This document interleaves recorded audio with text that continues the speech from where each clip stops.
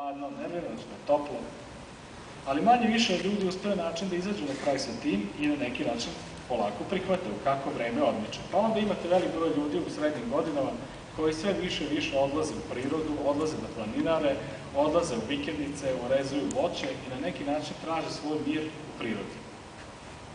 Konflikt koji je dublji od toga, a i tekako prisutan je konflikt sa drugim ljudima. A to je, mogu ja da oprostim prirodi što je tako kako jeste, nije priroda kriva.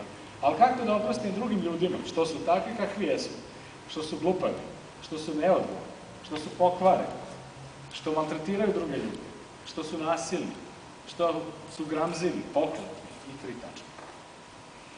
Često ljudi koji ne mogu da oproste drugim ljudima povlače se u samoću, povlače se u prirodu. Da bi u prirodi našli mir, jer među ljudima ne mogu da nađu mir.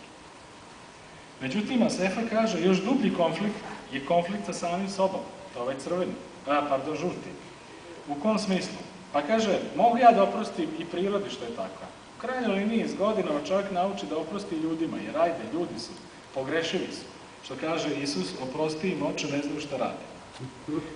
Međutim, šta da radim kad se suočim sa tim da sam i ja čovjek, da sam i ja deo jedne, jedan od te ekipe koja ima iste te probleme.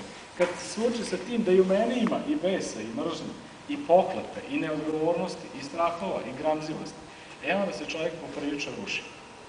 Josefa kaže da manje više tu se završava e, da kažemo, iskustvo ljudi koji su neuroci, koji imaju probleme tog tipa, međutim, postoje ovaj crveni krug, koji je najdublji krug, a to je konflikt sa Bogom. Konflikt sa Bogom e, se dešava sa ljudima koji su iskusili jače i dublje tragedije u životu, kao žrtve, e, nasilja, silovanja, e, tragedija, ratni veterani koji su se našli u vihoru rata, izbjeglice, porodice i tako dalje.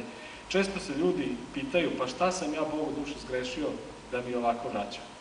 Dakle, to je najdublji konflikt, konflikt koji je vezan za prihvatanje realiteta ovakav kakav jeste.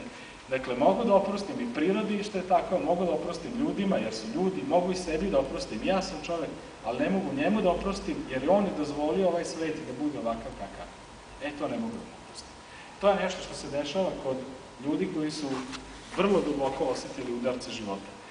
E, imao sam prilike da upoznam jednog e, suprugu od jednog veterana iz Iraka koji je Iračanin, rat, kao oficir iračke vojske ratova u sedam ratova, doživeo sve i svašta, iako je musliman, e, sada trenutno je teški alkoholičar, svaki dan je pijan, i zabranio da se spomene reč Allah u njegovom prisustvu.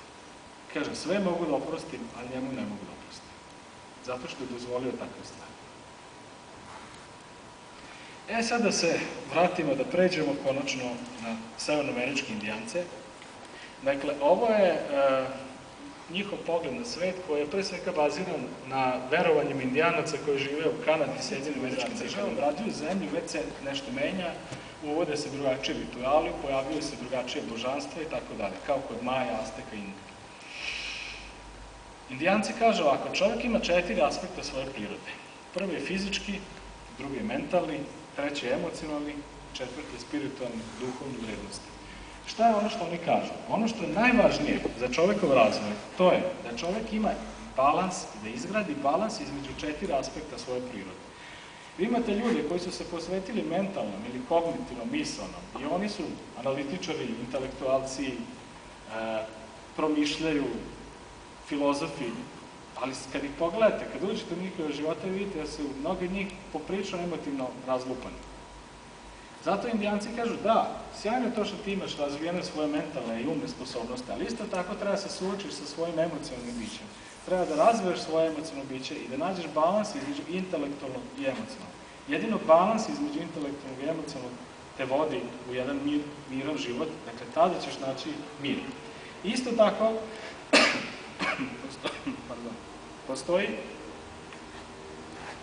potreba da se nađe balans između fizičkog ili telesnog aspekta s jedne strane i spiritualnog duhovnog sa druge strane.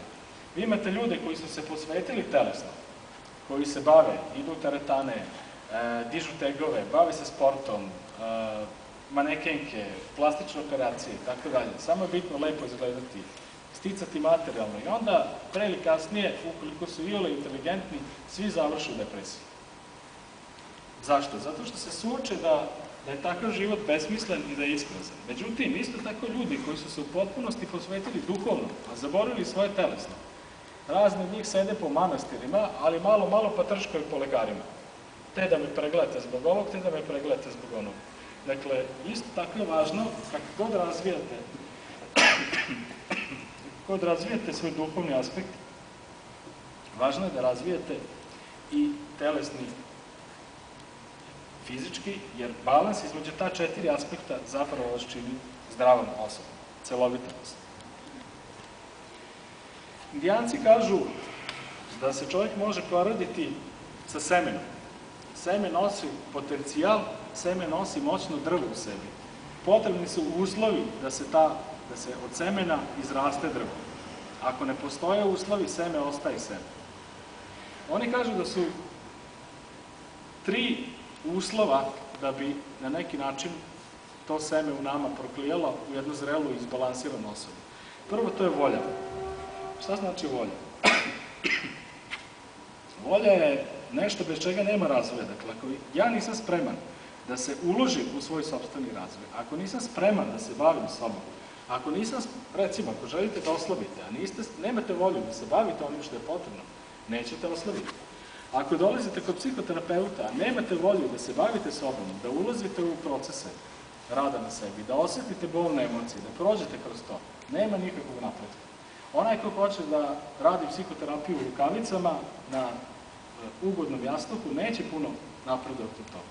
Dakle, volja je izuzetno važna u razvoju naših potencijala. Vizija je takođe važna zato što vizija nam daje sliku tome čemu težimo, šta je ono u nama što nas vuče u razvoju, gde je to gde to možemo da stignemo. Dakle, ljudi, mnogi psiholozi tvrde da su ljudi cilju usmereno biće. Dakle, mi imamo potrebu da imamo nekakvu viziju u budućnosti, jer čim nemate viziju u budućnosti, padate u depresiju.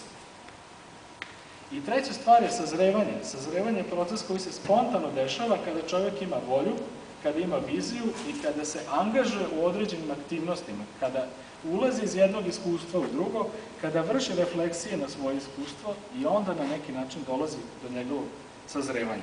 Ako čovjek sedi kući, ako se ne izlaže nikakvim opasnostima, ako se ne izlaže neugodnostima, nema puno sazrevanja. Imaćete čovjeka od 50 godina, a u glavi će imati mentalno uzrast 15.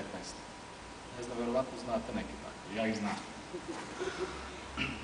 Indijanci govore o vrednostima. Za njih su vrednosti jako važne, zato što vrednosti u jednoj društvenoj zajednici omogućuju da zajednica opstaje i da se napreduje i razvija, kao i pojedinac. Ono što indijanci kažu, to je pitanje koje muči mnoge, mnoge ljude i dan danas, a to je kako da nađem balans između ja i drugi ljudi. Pa imate ljudi koji se odluče da se posvete previše sebi, vode računa sami o sebi, ne vode računa o drugima i ako to ode predaleko, polako se pretvaraju, pretvaraju u sociopate. Pretvaraju se u narcisidne, hladne osobe koje samo vode računa o sebi, a gaze druge ljude. Isto tako postoje ljudi koji na neki način se previše posvete drugim ljudima i onda svu svoju energiju, znanja, sposobnosti e, koriste da na neki način se umile, da se dopadnu drugim ljudima, time odustaju sebe i naravno opet upadaju u depresiju i počinju da pate. Kako Isus rekao, voli bližnjeg sebe, kao, bližnjeg svoga kao što voliš samoga sebe. To je ono što indijanci govore. Dakle, moraš da imaš balans između ljubavi prema sebi i ljubavi prema drugima. Ako u potpunosti poništiš sebe, nema ljubavi prema drugima. Onaj ko ne može da voli sebe, ne može da voli ni drugog. Ali isto tako, onaj ko voli samo sebe, a ne voli druge, pa isto tako se postoje pitanje da li on stvarno voli sebe ili je samo samoljubiv i narcisid.